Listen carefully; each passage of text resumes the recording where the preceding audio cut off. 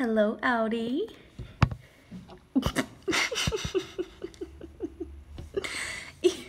Hi. You've got a big booty, huh? You've got a big booty for that little bed. He does love it though. How are you doing?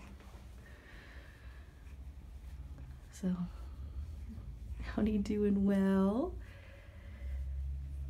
Right. He already finished all of his breakfast. Well, there's one kibble left. There's one kibble left. Did you know there's one kibble left? He's saving that for later. Later is now.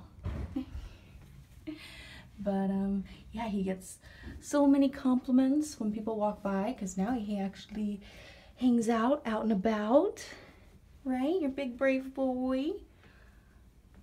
Everyone calls him a beautiful, they call him the big beautiful orange cat, but he really isn't that big. He's not that big boy. You look good. You look good, buddy. You look good. Kitty mail.